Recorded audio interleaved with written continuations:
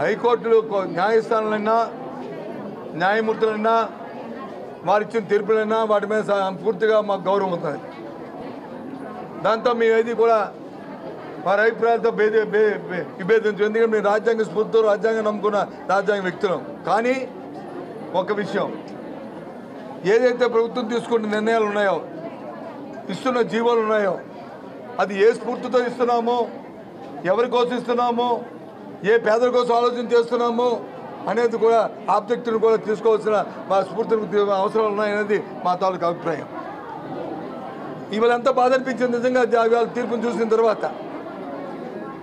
నిబంధనలు అన్నారు.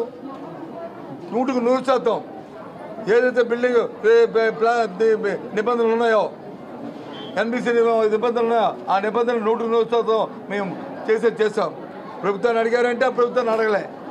ఎవరిని అడిగారంటే వివరణ అడగలే. అది కాకుండా మేము వచ్చి స్థలం ఇస్తుంది ఈ ప్రభుత్వం. దానికి తగ్గట్టు మామూలు సదుపాయాలు కల్పిస్తున్నాం కొన్ని వేల కోట్ల రూపాయలతో.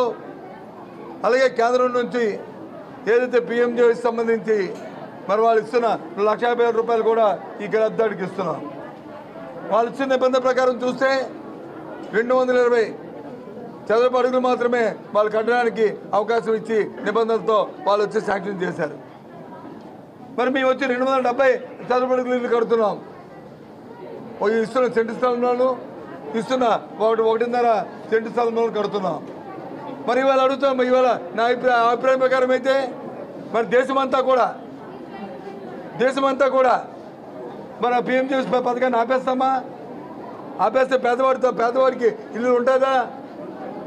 ఇవాళ ఈ ప్రభుత్వం ఈ స్వాతంత్రం వచ్చి డెబ్బై ఐదు సంవత్సరాలు అయింది వాటికి ఇంకా ఇల్లు కావాలని ఎవరినైనా దరఖాస్తు చేసుకోమంటే ఈ రాష్ట్రంలో ముప్పై లక్షల మంది పేదలు వచ్చి ఇవాళ మాకు ఇల్లు కావాలని దరఖాస్తు చేసుకుంటే ఆ- ఆ దరఖాస్తు చూసి బాధపడాలా?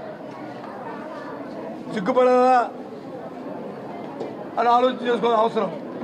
ఆ బాధతోనే ఆ సిగ్గుతోనే ముఖ్యమంత్రి గారు వచ్చి నిర్ణయం తీసుకున్నారు. ప్రతి వాడికి ఇల్లు ఉండాలని ప్రతి పేదరాలకి ఇంటి యజమానులుగా చేయాలని నిర్ణయం తీసుకున్నారు అది మా తాలూకా స్ఫూర్తి అది ఉద్దేశం.